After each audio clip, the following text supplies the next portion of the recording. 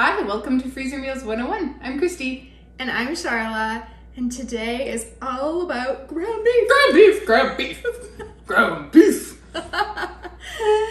so, we love when you can save a ton of money We really do. by doing freezer meals. It's it's one of the things that kind of drives us because we hear from you about how much money your family is now saving by doing freezer meals and it it gets us excited. It does get us excited. Like, we have had this freedom for, and I mean, when I say freedom, it's not just the money. There's time, freedom involved. There is the overwhelm, right? Like, I never have to really worry about what's for supper Yep. uh, because I can just take something out of my freezer because we are freezer meal aficionados. We've been doing this for a while. Um, but yes, that is a huge part of it is skipping the drive-through, not throwing granola bars at your kids in the back seat on your way to soccer practice because you have actually been able to just have a quick meal at home because it's already in your freezer and it's already ready to go and it's healthy Yep. and it's it's done for and you. And you can take advantage of the sales, which is what today is all about. It's really true. Because no matter how inexpensive that sale is on ground beef, it doesn't do you any good if you can only buy enough for one or two meals.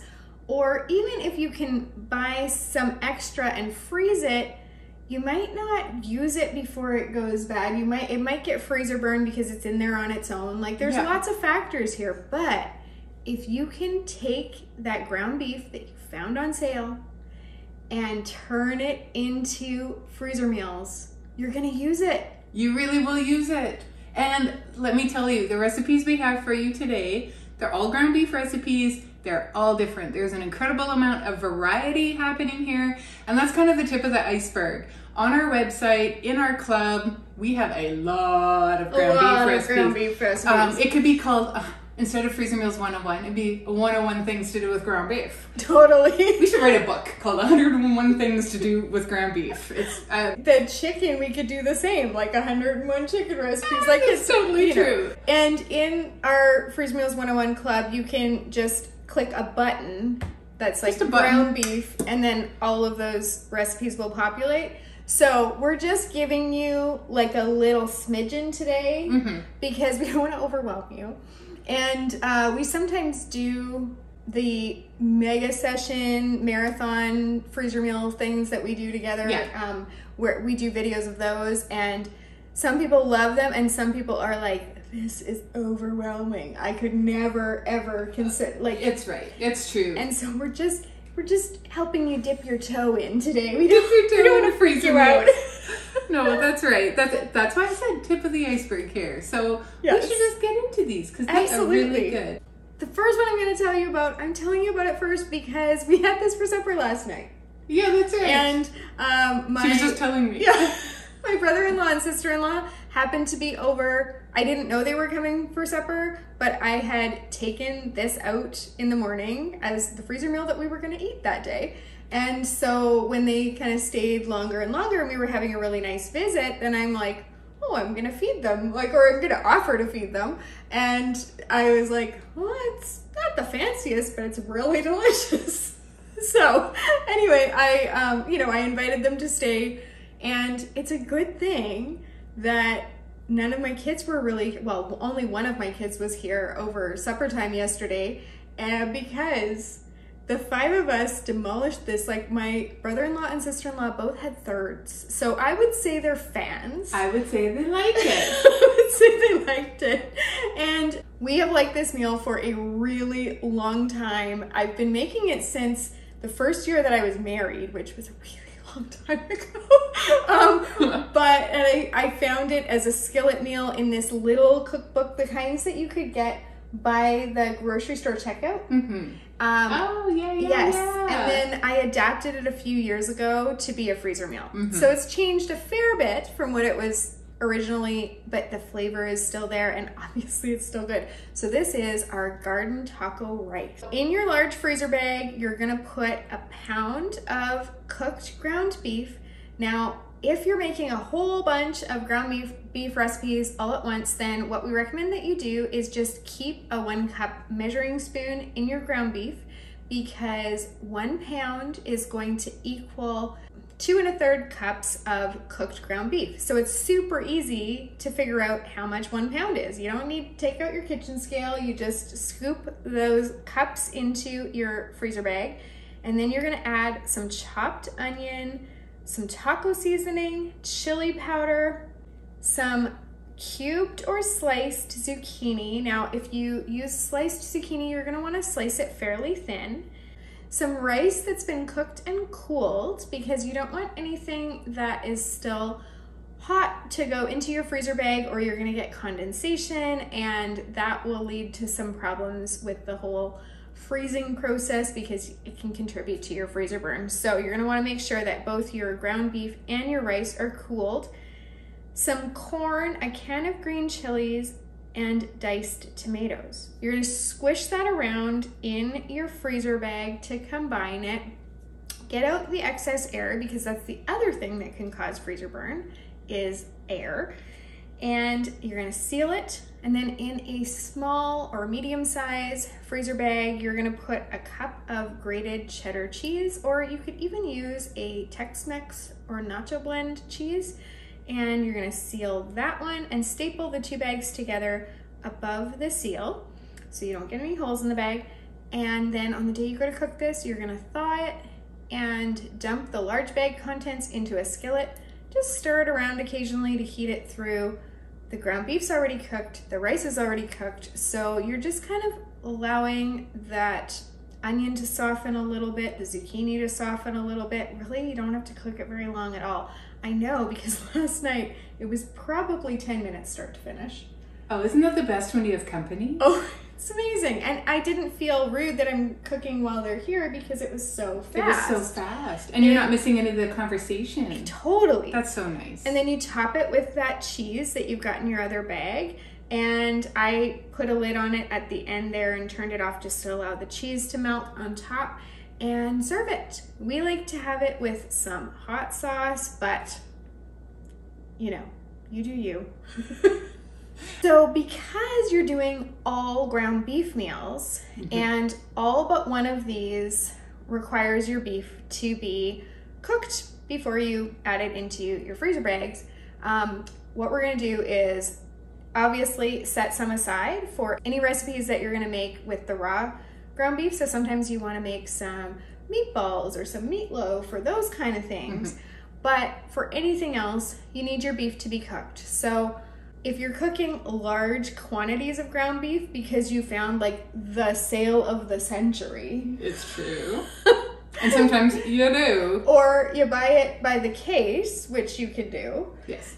Then what you're gonna do is you can brown it either in your slow cooker, in a roasting oven. Now roasting oven is not our favorite. We've tried it. We don't. I think it would have succeeded if it didn't get stirred to death. It got stirred to death in our because I've done it in my slow cooker. Slow cooker is okay because I never touched it. Right. I, like maybe three times over eight hours that yes. I stirred it. The roasting oven, I stirred it too much, and then it was like powdery. It was, it was powdery. It was bad. Yeah, it was. Um, that was a freezer meal fail.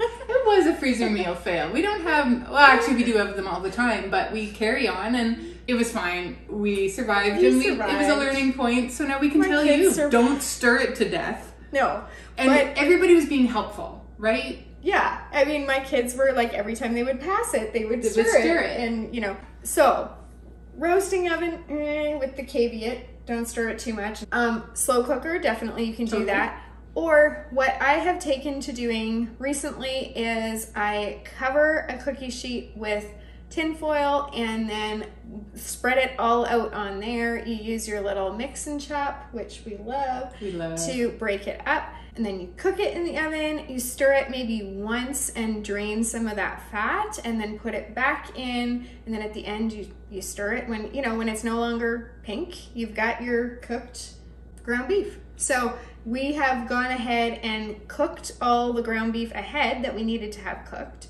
And then we've just got it ready for all these recipes. If you don't have a lot to do, the skillet is still gonna probably be the fastest. Yes. And it is my preferred method because I find it browns like it actually you can brown your beef the nicest yeah. nicest it, it will crisp it up so if i have like five pounds of ground beef i'll still do it if we're getting up to that eight to ten pounds of ground beef Yeah, totally slow cooker or the oven. This next recipe is chunky bolognese sauce. Um, it is like kind of like a marinara, kind of like a red sauce. It's all of the things, but it's got the meat in it. And it is really good. This is something you can serve with spaghetti or like spaghetti squash or like, you know, the zucchini noodles that you can make the spiralizer and make them into noodles. So we're gonna again start out with our browned beef, one and a half pounds. Right into the bag, we're going to also add a diced onion, some celery. We're going to add in some chopped zucchini, minced garlic. Now we use garlic from a jar because we go through massive amounts of garlic doing all the freezer meals that we do between the two of us. So that just works the easiest for us. But if you want to press your own garlic, you feel free to do that. Nobody's going to stop you. And I admit, yes, it probably is a little bit more flavorful, but we accept the trade-off Yep. of the ease of using the jar of minced garlic. We're going to add in cooked and crumbled bacon. So cooking the bacon was also part of our prep in this one. Again, if you're doing large amounts, you can do two pounds of bacon on a cookie sheet in your oven. Then we are going to add in diced tomatoes, a couple of cans of tomato paste, two cups of water, and some Italian seasoning and salt and pepper. That is a lot going on in this bag, but look at how delicious it is. We're gonna close it up, we're gonna mix it all around together, lay it flat to freeze. On the day of cooking, you do want to let it thaw and get this one in your slow cooker. It should be four or five hours on low. If you're in a pinch, you can do it on your stove top, but you really want to cook it low and slow to get those flavors to really meld. Yeah, the last time I served this, I forgot to put it in my slow cooker, so it was just thawing, and then I got home from Yeah. have some appointments, and I was like, "Oops!" And so Whatever. it totally worked on the stovetop pot. Of Yeah, course, can. Of course you can. Of course. So this next recipe is really dear to my heart, and even though I don't eat ground beef, I still love making this recipe, and my kids and my husband love eating it. Like And so does our family. Like, It oh is my goodness, Top. It's so. it's one of our top yeah. ground beef recipes, which is. Yes. Do you know what it is? It's the gravy and the pickles. The see. I said those two things in the same sentence. You I know It's and totally beef, weird. and it's it it is such a weird one. So this Oh, it's one. I got from my friend Cathy. Cathy passed away of cancer six years ago, so that's long ago. I know it doesn't feel like No, it really long. doesn't. It And really doesn't. She was a dear, dear friend, and our families like did family vacations together, and her four Cathy kids were. taught Sharla how to camp. yes, she did. And she taught you how to even eat outside on the deck. like Charlotte didn't do outside. She and now she me hikes. out of my comfort zone. Yeah, she did. And yeah, and yeah, her her four kids were similar age to our five youngest kids, Yes. and so they kind of were raised a little bit like siblings because of all the You family did a vacations. lot of stuff together. And we did every New Year's Eve together, and you know, so we've got a ton of memories and and you know, lots of. So obviously, this is dear to my heart. Um, but I have to tell you, the first time that they gave me this you recipe, showed it to me and you're I was like, this is so weird. I was making some freezer meals for her out of their like family favorite recipes, and I was just like, I'm gonna make it because like it says, but like, oh my goodness, this is so weird. And, I even told Cathy, I was like. Like, are you sure about like you actually eat this? Like, and I never. So it's called Cathy's Lazy Rouladen, and I had never even heard of rouladen at that point. But I mean, it has pickles. I don't even know what a rouladen is, but I know that this is good. So, if you want to try and branch out of your comfort zone culinarily, in your large freezer bag, add your ground beef, that of course is already cooked, and some minced onion, some bacon that is cooked and crumbled. So, the great thing about this is that you just had a recipe that also called for bacon. So, Mhm. when you're prepping, you just make extra bacon. It takes no extra time. And then you've got these two very different recipes that both need the bacon, right? And where it gets weird, it deviates because I had you with the ground beef, the onions, and the bacon, right? Is the pickles. So you're gonna dice some pickles. And that's all that's going in your bag. So just four ingredients Very, very simple. You're gonna take the air out, you're gonna freeze it. It's a really thin bag, so it thaws quickly. Mhm. On the day you go to make this, you will make some gravy and you'll cook this up in your skillet and then you can make gravy either from scratch or from one of those packets. I have recently discovered that I can only How make gravy with out? packets. I had to text Christy. Christy is my neighbor, and and and we do Rizz meals together. We talk a lot about cooking and stuff, so it's not unusual for us to text back and forth about food or recipes or whatever. But I had to text her and be like, "In all of my entire life, I have never made gravy from scratch." And I don't have a gravy packet. And so I was fine. like, how do I make gravy from scratch? So she told me, and I attempted, and all of us were like, no. Like, like it was like it it was it wasn't bad. It was like No. the color was wrong. if you were making gravy like from scratch, from scratch, you will have beef drippings in a pan that are going to contribute to the color and flavor. Yeah, and I of- didn't have that. She wanted it for her mashed potatoes. Yeah. Totally fair. Who doesn't love gravy with their mashed potatoes? That's completely fine. But we were having chicken with the mashed potatoes, so I You should didn't. make chicken gravy. Okay, I didn't think of that. And it's okay. So I walked her through how to make a roux and how to add in the stuff, but it was very bland looking because there was no depth of color. How was flavor? Uh, it- well, it was not good. It was it was like floury. Like it You was, didn't cook it and long so then Maybe. Well, I think we added more beef broth, and then it was better. Okay. Like double the amount of beef broth we had added. Ah. And so, so that night I got a gravy packet like late. Yeah. And so the next day, because we had lots of leftovers, I I added the gravy packet Oh, into the and gravy? some water into the gravy, or no, some beef broth. And the gravy packet into the gravy, and then it was the right color or righter color, And, and the it- flavor was the flavor better. was better. Well, I'm proud of you for trying. and I had to learn. I did not make gravy the way my mom taught me to grate. I like. I had to relearn how to make gravy as an adult, watching cooking shows. Really. Right. And the other way was I have I have a Pampered Chef cookbook that came with my deep dish covered baker Okay. And in it has the best chicken pot pie I have ever ever had. But it really does step by step talk about how to let that flour cook out and how to get to the right color and how long it takes and the little steps and where you want to add your your herbs and your your spices in like your salt and pepper and stuff and it was it was good. So for this, whether you make your gravy from scratch, like Christy Oh, I does, forgot about the recipe. or from a packet, or if you mix from scratch and a packet, like I did, because you're in a Hey, tizzy. there is room for every kind of cook in freezer meals. there sure is. There sure is. So you're gonna serve this with some potatoes, or like some boiled potatoes, baked potatoes, roasted potatoes, Mashed. mashed potatoes, and some gravy. Yeah. And I gotta tell you that sometimes this doesn't get to the point where I can make the gravy because as I'm cooking it in the skillet, my kids are like eating it with spoons. Oh, I put in extra pickles because my kids and my husband will go by and steal the pickles, and it's like we should just start doubling this one right off the scratch. Seriously.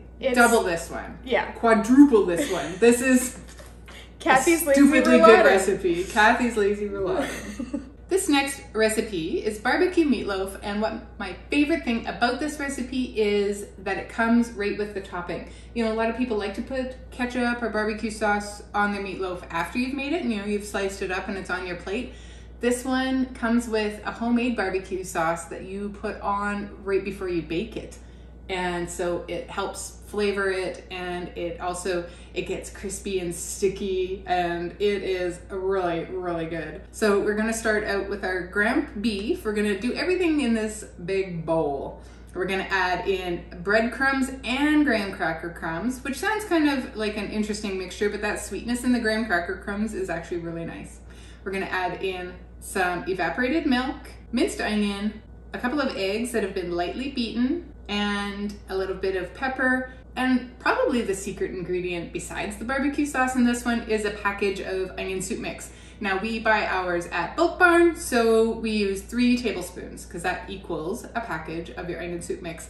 What's also nice about the Bulk Barn one is we can get it without the MSG. You know, some people have a sensitivity to it. So we're gonna mix all these together in the bowl. Listen, you can use your mixer, you can use, do this by hand, you can do this with a spoon.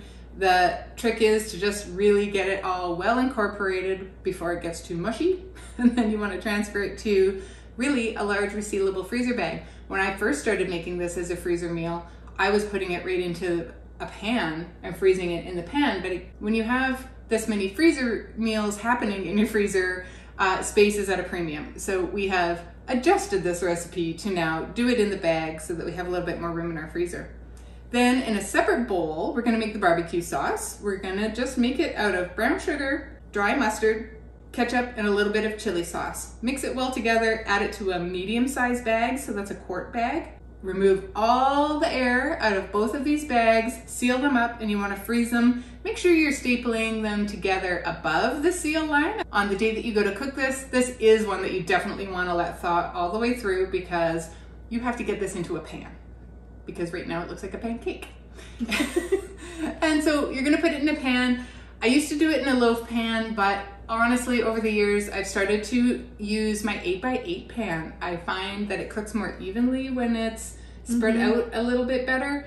Um, and it is also nicer with the sauce. This is the right amount of sauce for an 8x8 pan. Um, you want to cook it for about an hour. You got to make sure that that center is cooked through and there's no pink left. I have not checked the meat thermometer temperature of what a meatloaf should be to be cooked through. And then um, serve this up. This is going to be great with, again, with potatoes. This is a really good potato video. Ooh, we have a garlic mashed potatoes recipe that you can make ahead as a freezer meal. Oh, yeah, you It's could. amazing. So you could have that in your freezer and take it out with any of these. Yeah. It's totally, and we have some sides. We have lots of sides Yeah, in the club, we and do. lots that would go good with this too. Um, and this is always a hit. It really is. If you like meatloaf, you will like this one. If you don't like meatloaf, I mean, there's people that just don't like meatloaf. So I that's fine. discovered this year that my kids like meatloaf. Oh, that's this funny story. I know because uh, I have never fed them meatloaf. Well, now I feed them meatloaf all the time. like Christy and I recently made. Actually, I'll put a, a Oh, link put the right video there. up. That's a good one. Um, I, we recently made 48 individual freezer meals for my son who's going to this like summer job and he's sort of staying in like a dorm type thing and so we made these individual meals for him. And one of the things we did in there is these meatloaf muffins which is another one of our meatloaf recipes. And the reason i did that is because I've discovered that my kids love meatloaf, but how would I know since I wasn't feeding them a lot of beef in their life? I use veggie beef for a lot of these recipes that we're do- doing today. You can't use it like raw No. beef. And so, Oh, um, but but one day when we were sitting down and we were actually we had real meatloaf, and one of our sons is like, "Meatloaf is my favorite," and I'm like, well, "How would you even know?" and then he told me like at one of his childhood friends' houses, Oh, funny. the mom would make meatloaf and he loved it, and then everybody around the table is like, "Can you make meatloaf all the time?" Like anyway, and so Christy was really happy to hear that because now we're gonna just put meatloaf It'll into go the into rotation. it'll go into the regular rotation. Lots of times, if we were doing like a mega session, we would either use. Um, we would never make meatballs, almost never. It Yeah. was always um, just purchased meatballs because they're already cooked. It's so easy, and when you were doing over hundred meals, you want it easy. Save time, yeah. You want to save time. But if I was really craving homemade meatballs, I would make them ahead of time before that mega session, and I would do the same thing for the meatloaf. So that totally happened. But Yeah. now, Now- now I can put in a request and say I would like to make meatloaf this time. Thank and I'll have much. to acquiesce. because you have people to eat it. totally. It's true. So, for those of you that don't know, because I know we're talking as if you know this about us, but you might not know. So, if it's your first time here, welcome. We are neighbors, like we said, and we have gotten together for over a decade every three months to make three months worth of freezer meals for both of our families. So, We got so good at it, we decided to teach you through YouTube. and it's awesome. It is really awesome. So we'll put a link there to one of those videos of uh, one of our mega sessions, which are you know two day marathons of over 100 meals. Um, Yes. Super fun, and that's what we mean about putting the recipes in the rotation. So they go into those mega yes, sessions good and explanation. yeah, these beef and bean burritos we also made for my son Yes, we when did. he went away because beef and bean burritos are perfect for teen or young adult boys. They really are. They're a great midnight snack, they're a great after school snack, and they make a great meal as well. So we have gone ahead and browned some ground beef and added some taco seasoning and a little bit of water into that, just as if you were making taco meat. So onto your flour tortillas, and we use the burrito size flour tortilla, which is not really a surprise since they are burritos. Um, you're going to add some refried beans. We like the spicy variety because we like things spicy, but you can use the regular if you prefer. And then some of that seasoned ground beef, some red pepper that's been diced, green pepper that's been diced, onion that's been diced finely. And then you're going to wrap that like a burrito. Now, Christy is the one that does our burrito wrapping because she is an expert because she learned it when she was working at Subway a long time ago. And so you wrap it like a burrito, and then you um, wrap that in foil individually. And then you're gonna put those into your freezer bag and freeze them. On the day that you go to cook these, you can either microwave them, obviously taking the foil off first, very important Very step. important. Please do. or you can place your burritos in a baking dish and bake them in the oven for half an hour. And if you want, if you've done them that way, you can top it with lettuce, cheese, sour cream, guacamole, salsa, those kind of things. And then you have like a full family size meal. Or you can keep them in the individually wrapped foils for just your takeout one at a time kind of quick. They're great for if you have to have to take a lunch to work. Perfect for that. So there you go. Our lasagna soup recipe is kind of a little bit famous. It, oh my gosh. It kind of even is. It is so it's like restaurant food at home. It's It is so one of, amazing. it's one of my favorite things to feed family. It Yes. feeds large groups of people. It's hearty, it's flavorful, it's all the things. it's fancy and yet homey at the same time. How can it be that? But it is that. It is so true. So normally when we make this lasagna soup, we make ours with ground sausage. That way I can make mine with spicy ground sausage and have it be even more flavorful. And Christy can make her families with the mild Italian sausage, or there's like an Italian flavored Italian sausage, which sounds funny, but it's Ah, like yeah. it's got some extra seasonings in, there.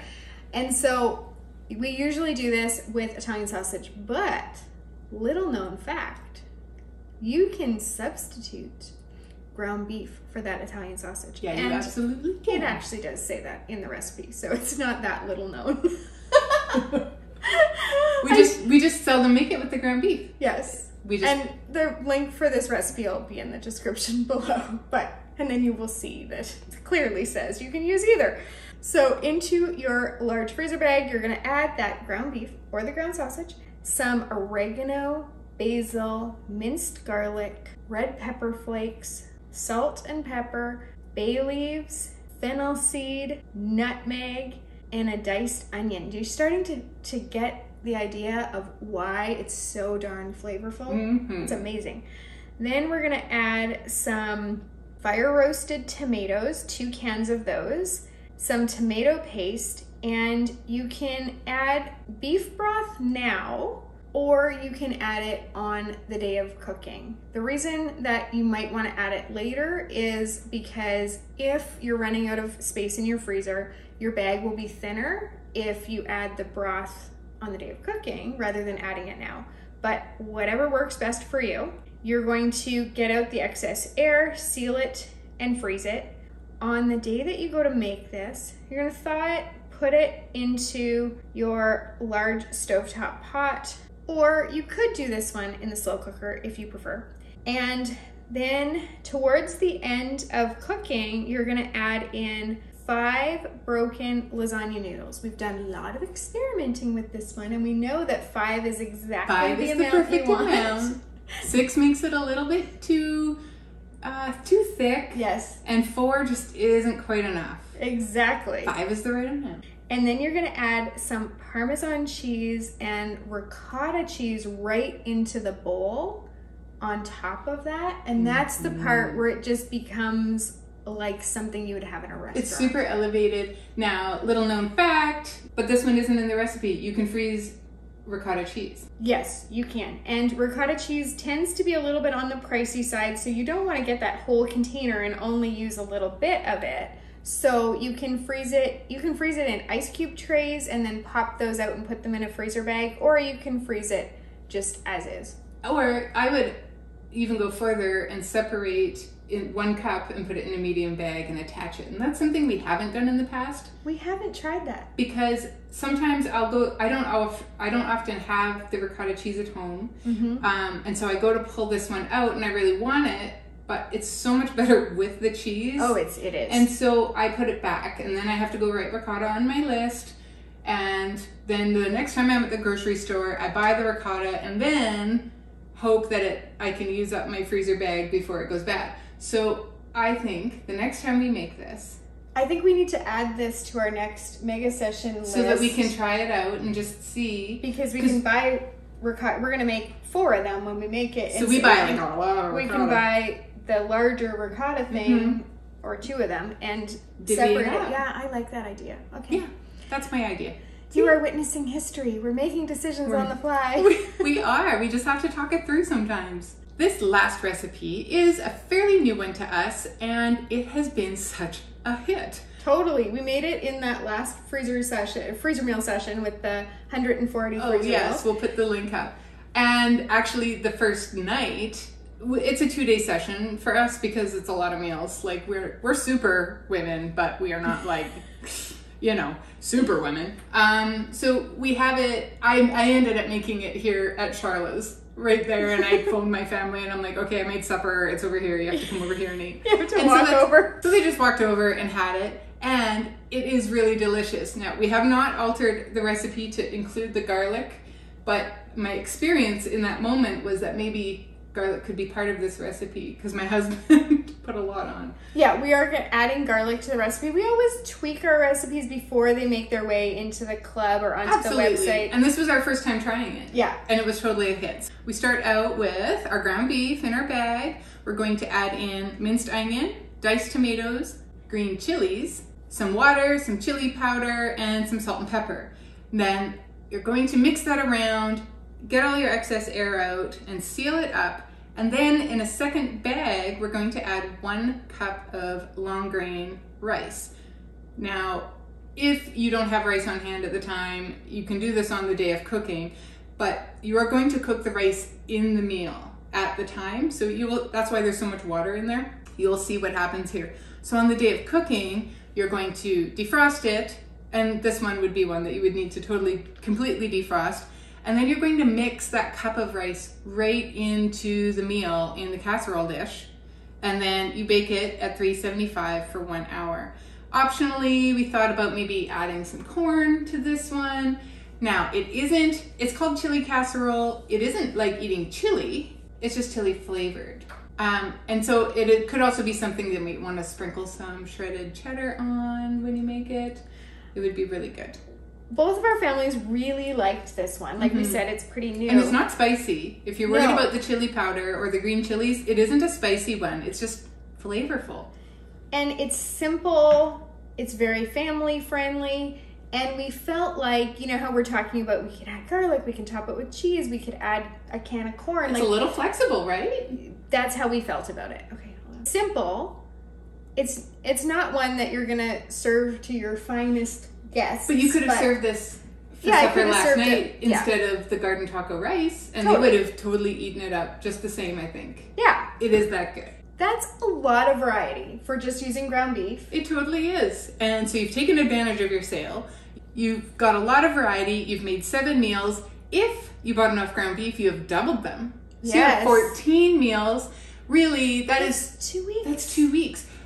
That you don't have to cook. Now you're going to want to spread those out. You don't maybe want to eat ground beef every single night, but do you know what you do? You start watching your flyer because there's going to be a chicken breast sale coming up, or there's going to be, you know, a pork chop sale coming up, and you can do the same thing. You can go into the club, you can click the pork button, and bam, you have all these recipes for whatever you want to supplement Totally. your freezer meals. And we are planning a video for you on chicken breast recipes for that sale on chicken breast. So that'll be coming in a week or two. So just watch for that. But in the meantime, I'm going to put a link right there to another video with chicken ideas. So that one you can use when you see a sale on chicken, whatever you got your sale on your chicken, and then you've got your sale on your ground beef, and then you've got you throw in some seafood, pork, vegetarian meals in there, and suddenly you've got a month or two of meals. and And really well rounded, and you have saved a ton of money.